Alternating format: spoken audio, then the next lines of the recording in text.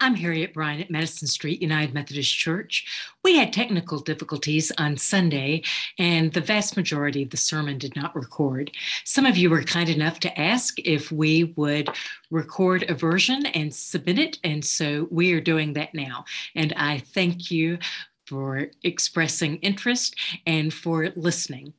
I invite you now to hear the Word of God as it comes to us from the second chapter of the book of Acts, beginning with the 42nd verse, and I am reading from the New Living Translation. All the believers devoted themselves to the apostles' teaching and to fellowship and to sharing in meals, including the Lord's Supper, and to prayer. A deep sense of awe came over them all, and the apostles performed many miraculous signs and wonders. And all the believers met together in one place and shared everything they had. They sold their property and possessions and shared their money with those in need. They worshiped together at the temple each day, met in homes for the Lord's Supper, and shared their meals with great joy and generosity all the while praising God and enjoying the goodwill of all the people. And each day the Lord added to their fellowship those who were being saved. This is the word of God for the people of God. Thanks be to God.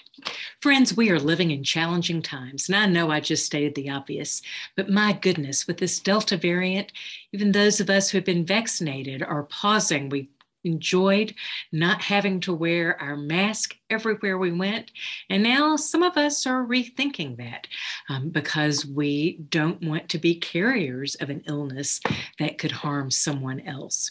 Your church staff finds this to be a challenging time. We are committed to doing whatever is in our power to make sure that we maintain existing connections as a community of faith, as the body of Christ, that we create pathways for new connections and that we figure out how to build up community as you participate in life in person, virtually, and in hybrid settings. We are living in a both and world now, and we are going to do our very best to figure out the next faithful steps.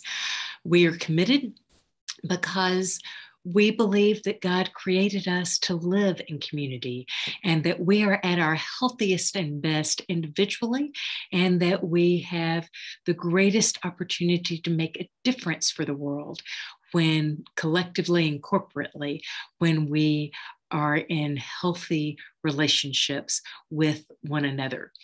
And so this is a phase where I've laughed and I've said it's almost as if we are throwing spaghetti against the wall and seeing what will stick as we experiment. But we're doing it out of a love of God and a love for you. And I really do hope and pray that you will take advantage of different opportunities that we have.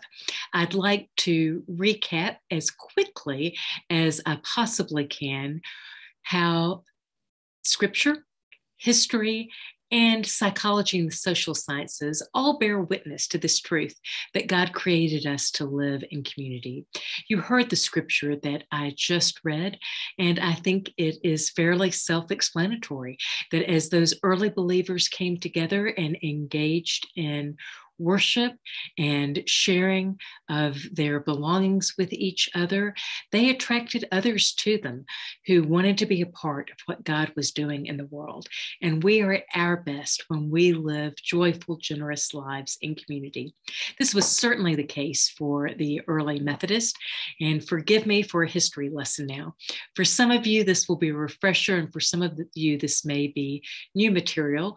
But John Wesley, founder of Methodism in Britain, along with his brother Charles and some others, but primarily John, had this vision of transforming the Church of England, of having it be a place where people grew closer to God and closer to one another and lived out their faith in meaningful ways. And to that end, John Wesley started societies, large groups of people, where people would come together in order to hear the word of God and to watch over one another in love and to encourage encourage and support one another.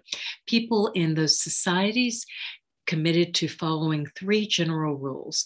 The first, to do no harm, insofar as, as it was possible to avoid evil of every kind, anything that would hurt someone else or be a harm in the world. Secondly, they commit themselves to doing good, to actively pursuing acts of mercy and kindness and compassion. And thirdly, they committed themselves to attending the ordinances of God.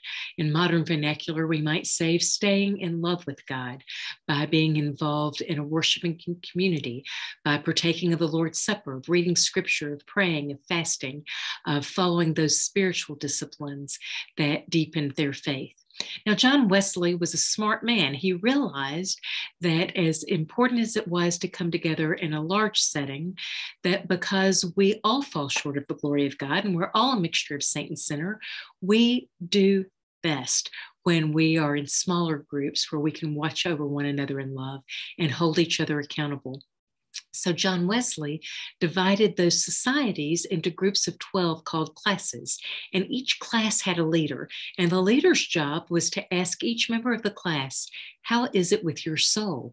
and to offer a word of encouragement, exhortation, reproof, whatever was necessary for that person to live out his or her faith most strongly and as well as that they could.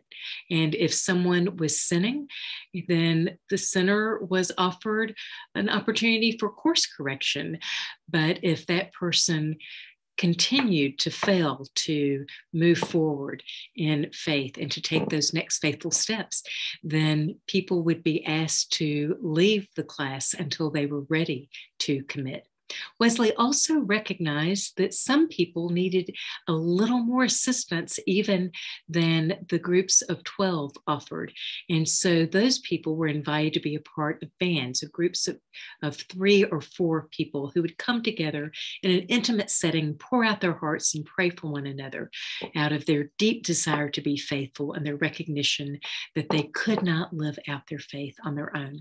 It has always fascinated me that our non denominational denominational brothers and sisters who have experienced such success with life groups have been inspired by John Wesley, by our founder, to say, This is how we can live out our faith. And so I encourage you, if you're not a part of a small group, to consider joining one. These early Methodists were not only committed to a life of personal piety, but they were also committed to living out their faith in the world. And so when they gathered together, they collected funds and they used these funds to build schools, to build homes for those who are destitute, to build dispensaries, to make medications available for those who did not have access to medical care. They also were actively involved in the larger society where we might be tempted to think oh, it's just too much. What can we do with everything that's wrong with the world? Those early Methodists said, Oh, I'm called to make a difference, and I'm going to make a difference. We are going to make a difference. And so they worked ardently for the abolition of slavery. They worked to improve the working conditions of the men and children who were caught up in an industrial revolution. And in so doing, they truly transformed society. Several years ago, I read a series of articles that have stayed with me because they fascinated me. They were about those early Methodists, and they were written by a conservative Catholic, a moderate Episcopalian, and a progressive Jew.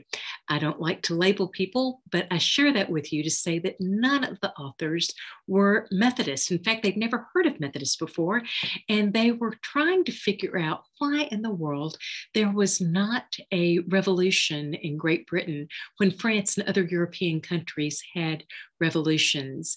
And they decided it was because these people of Methodist, named Methodists, lived out their faith in such a way that a revolution was not necessary. And so, what a challenge, what a legacy, what an invitation that is to us, friends. What a reminder it is not to give in to those feelings of resignation and apathy that we have, but to remain true to our faith and to our heritage. So we can make a difference. Scripture tells us that, history tells us that, but it's not just good for the world, it's good for us. That's what psychology and the social sciences tell us. One of Harvard's longest running studies is the Grant Glueck study. I think I've said that correctly. It's G L U E C K. But Harvard researchers have followed hundreds of people for 75 years, over seven decades, who are both Harvard graduates. That's one study, that's the Grant study or the Glueck study. Anyways, two separate studies, and one for people of um, a lesser socioeconomic background who live in Boston. And they have looked at medical records, including brain scans when that technology became available. They have uh, perused interviews and conducted a series of interviews. And over the course of time, they've decided, these Harvard researchers have decided that there is one single factor that makes a difference when it comes to a happy and fulfilled life. You guessed it, it is healthy and happy relationships. That relationships, even though they can be messy and complicated, meaningful relationships are the best predictor of how much meaning we will find in life. It's not what's in our bank account, our 401k. It's not how many followers we have on social media. It's not what positions we've held and what company. It's meaningful relationships. And so, out of that, plus knowing that the reverse is true, that loneliness can be have an adverse reaction impact on our life. That's the word I want impact. As much as smoking 15 cigarettes a day, and that there are studies that show how uh, not being in healthy relationships, being lonely, can impact our mental, physical, and emotional well being. We recognize that God created us to be in community. And when we are in healthy communities, it's good for us and it has the potential to be good for the world.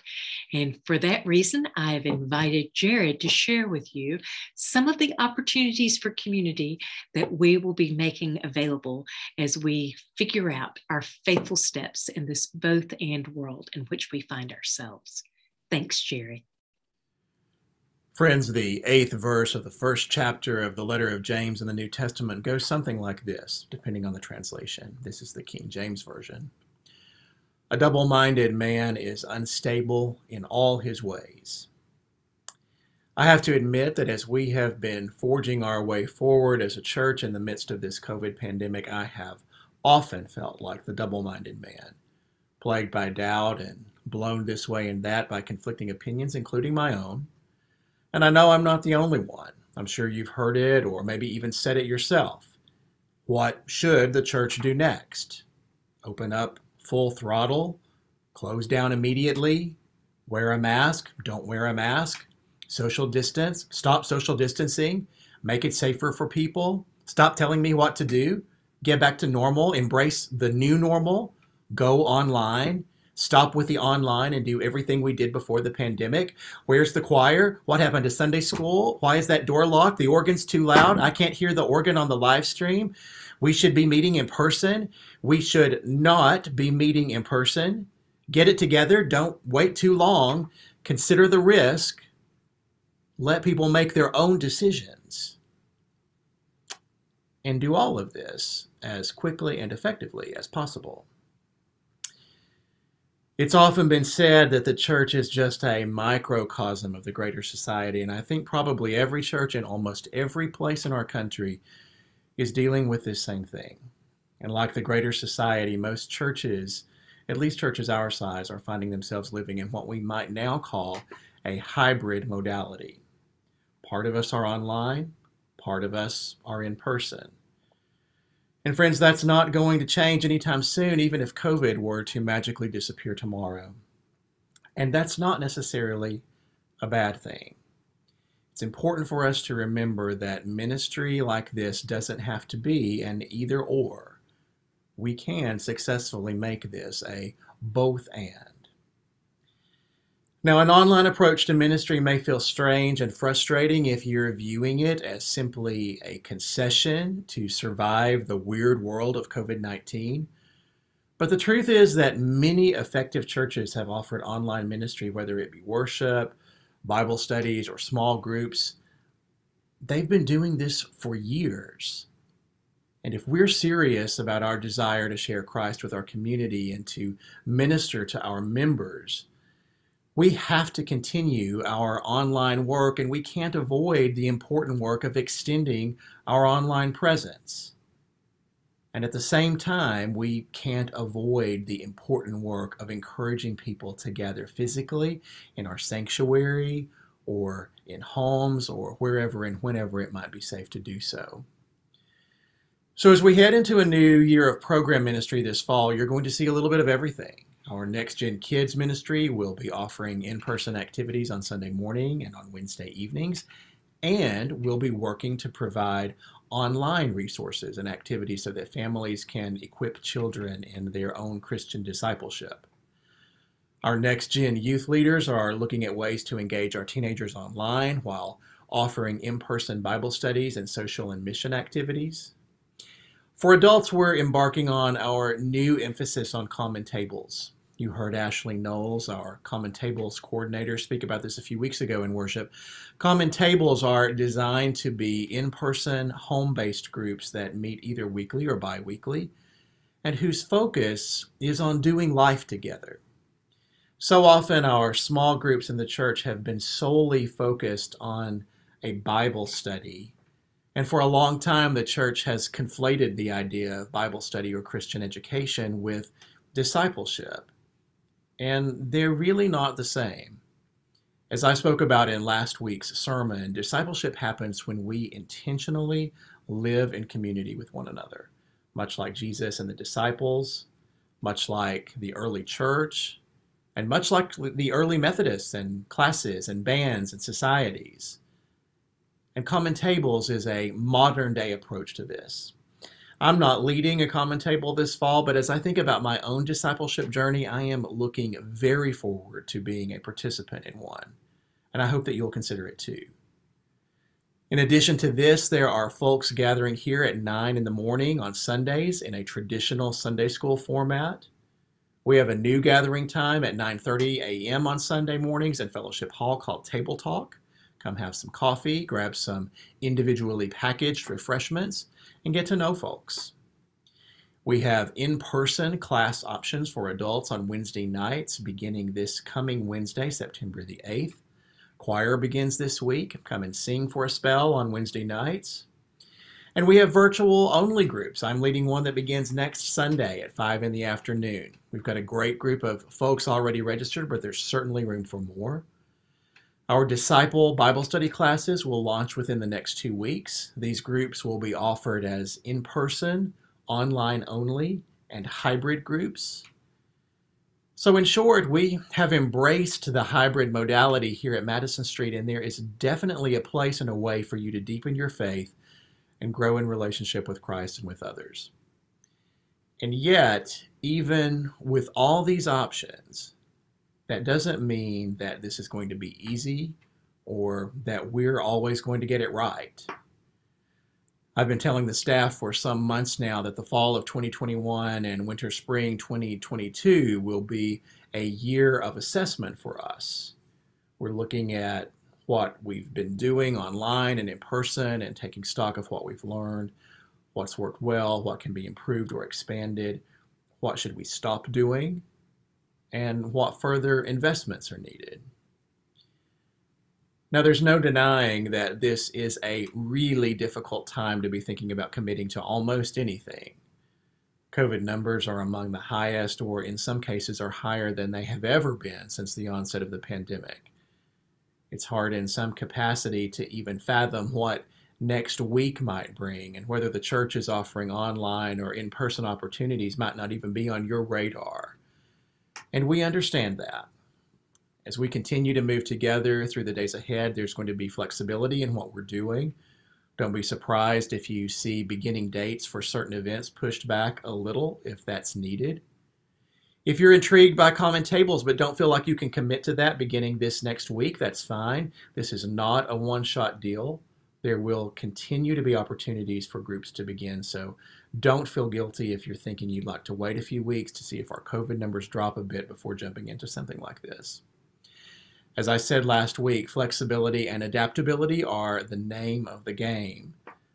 And friends, this is church, at least in this season. Many of you have heard both Harriet and I speak about Tom Berlin, the pastor of Floris United Methodist Church in Virginia. Floris UMC began offering online worship literally years ago. And Tom tells a story of the associate pastor at Floris who hosted the live chat when their online services first began, going through this lengthy process to trademark her favorite statement This is church. It reminded her that online worship and online ministry really was worship and really was church.